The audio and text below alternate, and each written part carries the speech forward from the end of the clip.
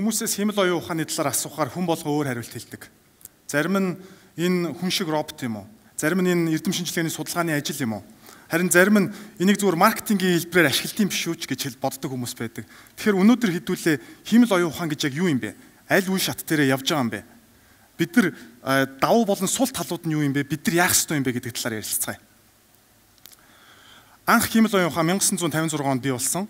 Тэр үедээ бол эрдэм шинжилгээний судалгааны ажил хэлбэрээр явдаг байсан бол 1997 онд анх удаа IBM компани Deep Blue эмэх машин дэлхийн шилдэг шатарчин болох Гари Каспаровыг ялсан явдал юм. Тэр үед хүмүүс бол шоконд ороод вау гэ Гари Каспаров болол унсан. А тэгтээ тэр үед машин хүнээс ухаантайтай болоос болохоор ялсан биш а зүгээр машин хүнээс илүү хурдан сэтгэдэг болохоор ялсан юм байна. Ягаад тэгэхээр тэр үед машинд бүх шатрын нүүдлүүдийг суулгаж хатуу програмчилсан байдیں۔ Харин сүүлийн 10 жилд бидний амьдралд огцом өөрчлөлтүүд гарч ирж байна. Бид нар хуучин утсаараа цаана зөвхөн хүнтэй ярьдаг байсан бол одоо Siri гэд бидний нэг туслах юм шиг нэг хүнтэй ярьдаг болчих. А хуучин бид нар машиныг зөвхөн хүнлж олооддаг гэж боддог байсан бол одоо машин өөрөө явдаг туршилтын ажлууд бий болсон байна. Энийг яг юу бий болгоод байгаа юм бэ? Тэгэхээр хиймэл оюун ухаан гэдэг ойлголт өөрөө их том. А тэр дотроо machine learning буюу машиныг сургах гэсэн дэд хэсгээс бүрдээд байгаа. А тэр хэсэг нь дотроо deep learning буюу deep learning гэдэг дисциплин буюу дүрмээр энэ сайн энэ боломжууд бий болоод байгаа. За энэ яг яаж ажилт юм бэ гэдээ хэдүүлээ ярилцсан. Шууд жишээн дээр бодъё. За нэг хүн халуураад байна гинэ. Тэгээ эмчтэр одоо очингууд л өө чиний стор чи юу вэ гэж асуудаг штэ. За яг тэрнтэй адилхан хэдүүлээ тэр хүний халуураад байгаа мэдээлэл болон тэр түүхийг ингээд оруулчих. Тэр үед машин oceans of data гэдэг байгаа. Далаа шиг их дата дундаас хүний яг тархины зарчмаар тэрийг neural nets гэж нэрлэдэг байгаа. Аа давхцлыг бий болгоод үр дүнд нь магадлал юм үр дүнд нь та магадгүй хатгаа авсан юм байна гэдэг төсөөлөл юм уу боломж юм уу ангиллыг бий болгоод байгаа. Тэр нь яг 100 үнэн гэсэн үг бол биш.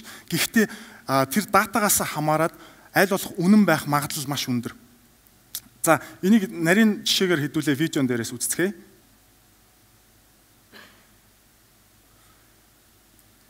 Тэгэхээр энэ дээр өгөгдөл нь юу байсан бэ гэхээр машинд доор нь энэ нэг юм хөдөлдөг гэж хэлсэн. А тэнгуүтлээ чи их оноо авал гэдэг л даалгавар өгчөж байгаа. Тэгэхээр машиныг 100 тоглохдоо эхлээ сайн уучраа олохгүй. А тэгээд нэг 200 тоглоод эхлэхээр аа за энэ нэг бөмбөгийг зохиод авах юм бол оноо нэмэгдээд байх юм шиг байна гэд ойлгоод эхэлж байгаа. За 400 удаагийн дараа болохоор машин нэлээд ухаантай болоод ер нь бол нэг юм сайн тоглолдог компьютер сайн тоглолдог хүүхчийг л болчихно гэсэн үг юм. Ер нь бол бараг алдахгүй шүү.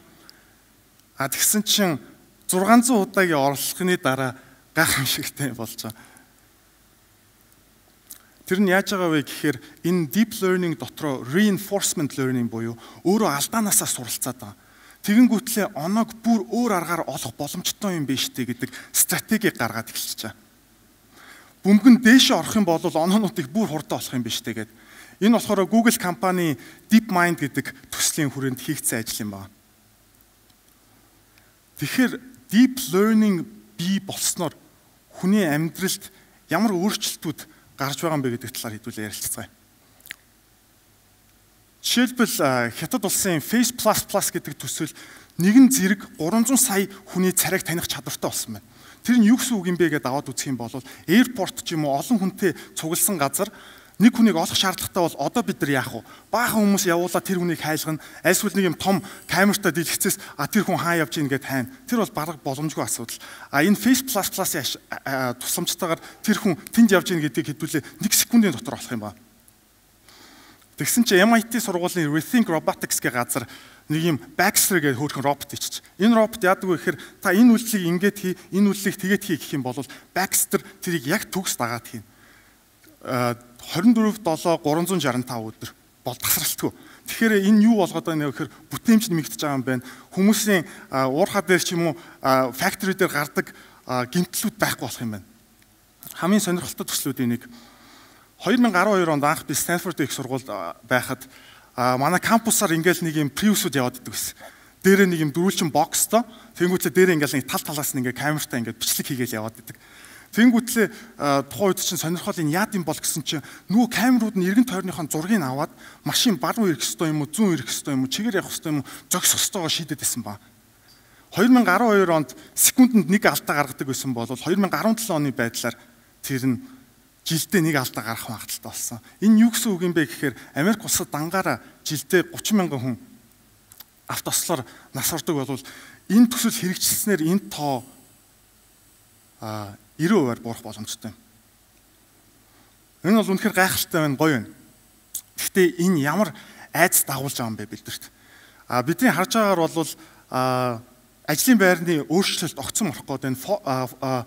Оксфордын сургуулийн судалгаагаар аваад үзэхэд ойрын 40-оос 50 жилийн дотор 40-оос 50% ажлын байр уучлаарай 10 жилийн дотор 40-оос 50 ажлын хувь ажлын байрууд химэл оюун ухаанаар орлогдох юм уу? Шинэ ажлын байрууд бий болно гэсэн. Эдийн засаг яг шудраг хуваарлагдаж чадах болов. Өөрөөр хэлэх юм бол доод давхарга дундлуугаа очиод дунд нь дээшээ очиод тийм би би болох болов. Аль эсвэл баян давхаргач нь л баяжаад яваад байх юм болов. За хэдүүлээ тэнгуүтлээ технологийн хурдыг хэдүүлээ гүйцэх болов гэсэн нэг юм эдгэр айц дагуулж байгаа. Тэгэхээр хэдүүлээ ажлын байран дээрээ төвлөрчий. Кайфули профессорын ангиллаар аваад үзэх юм бол ийм дөрвөн хэсэгт хуваацсан байгаа даа. Эхнийх нь бол ийм давтамжтай ажлын байрууд. Тэр нь ямар ажлын байрууд юм бэ гэхээр нэгтлэн бодох, үйлдвэрийн ажилтан а машины драйвер гэх мэтчлэн ажлын байрууд байгаа юм байна. А дараагийн хэсэг ажлын байрууд нь юу юм бэ гэхээр а хүний сэтгэл орсон Гэхдээ бас давтамжтай ажлын байрууд байгаа даа. Тэнд нь багш, эмч, хуульч гих мэт. Дараагийнх нь болохоор бүтээгч нар, инженерүүд, артистууд, дуучид, зураачид, зураглаачид.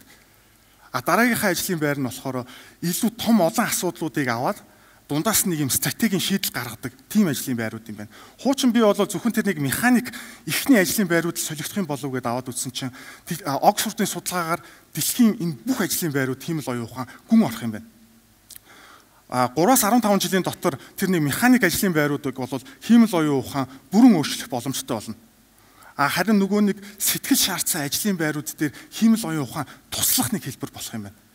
А бас нөгөө нэг бүтээч ажлын байрууд дээр ч гэсэн шинэ бүтээл гаргадаг хүмүүс дээр ч гэсэн хиймэл оюун ухаан хуучин нэг сарын судалгаа хийгээд за за нэг юм судалгааныхаа ажлаа хийдэг гэсэн бол хиймэл оюун ухаан фанк танаас шиг зүгээр бараг шууд хариултуудыг гаргаад өгөөд та харин тэнцэнээсээ өөрсдийнхээ стратегийг гаргах боломжтой.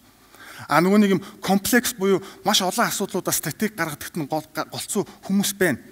А гэхдээ хиймэл оюун ухаан тэрний бас нэг юм төхөөрөмж тусалдаг нэг хэлбэр болох юм байна. 2006 онд анх би хятад улсад автын осолд орж ирсэн. Яасан бэ гэхээр би зүгээр амьсгалах юмч боломжгүй болцсон. Тэгээ азар манай ээж надтай хамт явсан. Тэгээ сайн эмч нарын ачаар өнөөдөр презентацийн тавиад зогсож байна. Тэрэн дээр болохоор бит хоёр ямар ч үсэн имжлэгдээд Монголдо хүрээд ирсэн. Тэгсэн хэдий ч гэсэн нэг сайн болж өгөхгүй. Бид нар ингээл нэг имлэгээр яваал. Тэгэл нэг онш нь болохоор аимшиг аимшиг оншууд хэлсэн л те. Ерөөсөө хүүе чи одоо дахиж хагалгаанд орох хэрэгтэй юм байна. Наа чи яагачгүй байна, болоогүй байна. Тэгээд нэг Монголд юм асуудал шүү дээ. За тэр имчил ерөн сайн мэдэндээ тэр имчлүүл очиод нэг уул затах гэд.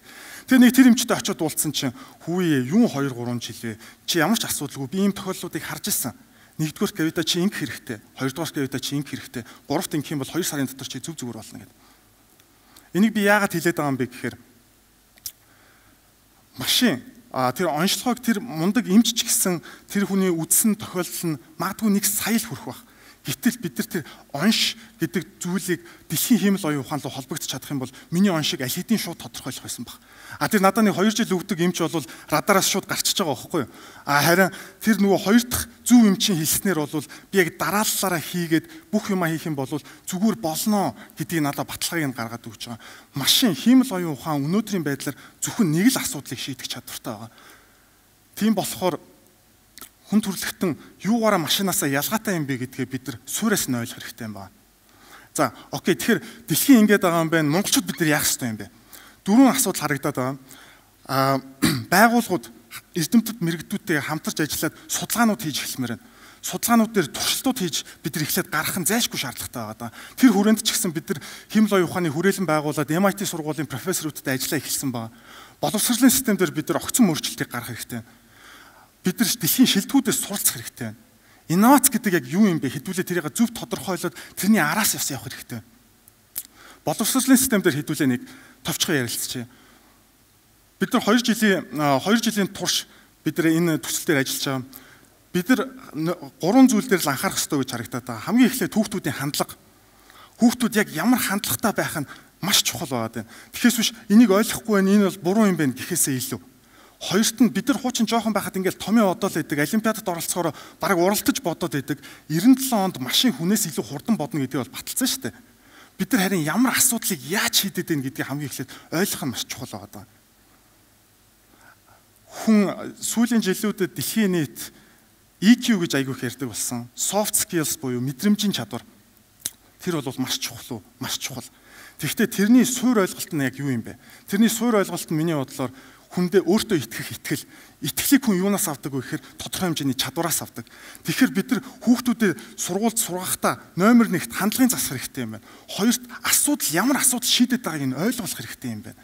Тэгжиж нөгөөдөг чинь химэл оюун ухааныг ашиглаад энэ асуудлыг ялз бодоодог аа за тэнгүүтлээ энэ асуудлыг би шийдэх гээд байгаа гэдэг шийдлээ гаргах юм байна. Гурав дахь нь бид нар чадвартай болж иж нөгөө EQ гэдэг мэдрэмж дээрээ суурлаад үсэх хэрэгтэй юм байна. Innovation гэж яг юу юм бэ? Innovation гэдэг бол тавчид тавчхондоо шинэ эдийн засаг. Шинэ эдийн засгийг бий болгохыг хэлж байгаа. Innovation дотор хоёр хэсгээс бүрдэж байгаа. Нэг нь disruptive innovation, нөгөөх нь incremental innovation. Disruptive innovation гэдэг нь за одоо ингээд нэг морин тэрэгтэй явдаг байсан үед би машин зөвхөн бүтээлээ гэж Henry Ford хэлэх нь шүү дээ. Тэр нь бол явдаг тэрэг гэж хэлнэ. Тэр бол disruptive innovation юм байна. Цоо шин эдийн засаг юм байна. А тэгсэн чинь тэнд итгэж байгаа хүмүүс хүүе би чиний замыг чинь бариад үгүй. Incremental innovation явж байгаа шүү. Би чиний сервисийг чинь бариад үгүй. Би чамд илүү бензин баг гэдэг хөдөлгүүр хийгээд үгүй гэдэг нь энэ нь болохоор incremental innovation юм байна. Энэ нь яагаад чухал юм бэ гэхээр өнөөдөр химэл оюун ухаан тодорхой нэг асуудлыг шийдэж байгаа. Шийдэж байгаа. Innovation гэдэг бол шинэ эдийн засгийг хүн бид нар бий болгоод тэр лүү хүрэх дүт замыг бид нар AI-г ашиглаад хүрэх боломжтой юм байна. Тэгээ бид нар сайн дахиад бодох юм бол химэл оюун ухаан бидний амьдралд дээр үеэс л байсан. Яг арай нэг өөр хэлбэрээр химэл оюун ухаан гэдгүүл байсан баг. 1900 1900 оны ихэр одоо 20 дугаар зуун гэсэн ихэр ер нь онгоц хөөргөн гэдэг бол өнөөдрийн одоо нөгөө финтек ч юм уу AI гэдэг нэг юм айгу hot topic байлаа л да. Тэр үед Samuel Lanley гэдэг нэг нөхөр нөхөрч юу байсан бэ гэхээр хөрөнгө нь маш их хөрөнгө байсан. Тухайн үеийн хамгийн шилдэг AI буюу Harvard-ийн бүх эрдэмтэд профессорууд байсан нөхрийг болвол Нью-Йорк Таймс даал яваад байдаг гэсэн. Ерөөсө байнгын за энэ л одоо ер нь яг хөөргөндөө энэ л хөөргөндөө баг нь сайн байна. Үнэхээр том асуудлыг шийдэж гин дэлхийг холбоно гэдэг урайнд ойрол асуудлыг шийдэд шүү дээ. Тэгсэн чинь 1903 онд Ohio мужид а Wright Brothers гэдэг ах トゥ хоёр хамгийн анхны онцгой хөөргсөн. Манай хоёрт юу байсан бэ гэхээр тэр их хөрөнгө бол байгаагүй. Тэр агуу эрдэмтэд бол байгаагүй. Тэр хоёр тэр хоёр өөр тэр хоёр утнаас байсан. Тэгээ тэр хоёрт итгэсэн нөгөө зүгээр наад чи ямар гоё зориг вэ? Ямар гоё юм бэ гэдэг тэр итгэсэн нэг юм баг нь байсан. Тэд нар магадгүй Харвардын диплом диплом байхгүй шүү дээ. Бараг өөртөө нисэл за унахгүй юмсан гэж явж байгаа шүү дээ. Тэгсэн чинь 1903 онд манай эдл хамгийн анхдынхыг хөөрөгчөж байгаа байхгүй. Тэр нь юу гэсэн үг юм бэ гэхээр бидний амьдрал маш завгүй болж эхэлж байна бид нар өөрсдөө ухаалаг гар утастай болоод банкны системийг хүртэл банк утсандаа оруулаад бүх юмыг эффектив болгоод байгаа юм бид нар бүр л завгүй болоод байна. Бид нар энэ дэлхий дээр яагаад оршин тогтнож байгаа гэдгийг маш сайн ойлгох хэрэгтэй. Хүн гэдэг юугаар машинаас ялгаатай юм бэ гэдгийг бид ойлгох хэрэгтэй. Тийм ээ химэл оюун ухаан бидний амьдрал руу орж ирэх юм байна. Тийм гоё шүү дээ. Тэр нөгөө нэг юм байнгын механик хийгээд байдаг юмал тэр хүн даатгач л та. Та нар бид нар өөрсдөө тэрийг контролдод явах бүрэн боломж байгаа даа Би марафон Нью-Йорк улсын Нью-Йорк хотын марафонд 2 удаа оролцсон. 42 км-гүйгээд тэг 30 км дээр нь юу нь яваад тарих юу гэдэг вэ гэхээр за чиний би чи ерөөсө болоо зогсох шүү явж чадахгүй юм чи одоо бол чи одоо краш боллоо ерөөсө хуурлаа гэдэг байхгүй. Тэгээд би бүр өстө сонирн болцсон хүл доголцсон гимтцэн явж исэн чи хажууд нэг юм галланд нэг залуу ирж байна. Төхөр хүй хөшөө чи анх удаа явж байгаа мó гэсэн чи тий анх удаа явж байна. Зүгүүрээ хөшөө анх удаа явж хахад ер нь 30 км дээр ингэт юм аа бити санаа зов. Чи хаанаас ирсэн гэсэн чинь Монголоос ирсэн гэсэн чинь нөхөр this guy is from Mongolia гэл нөгөө эргэн тойронд байгаа бүх хүмүүс тийсэн чи тэд нар ч ямар урамтай дэмждیں۔ Mongolia гэл ингээл дэмжиж байгаа байхгүй. Тэр үед чи хүний зүрх ерөөсөө гэл зүгээр ерөөсөө бүх мах бодлогоо ороод тэнд чинь би 10 км яаж гүйснэ хүртэл санахгүй. Тийм болохоор бид нар хүн гэдэг ялгаа нь юу юм бэ гэхээр сэтгэл зүрх машин бодвол бидний тархийг дүүрээс нэг механик хэрэгсэл юм ба. Тийм болохоор бид нар сэтгэл зүргээ тархитай холбосон цагт машин бол цаашаа шүү манайхаа. Баярлалаа.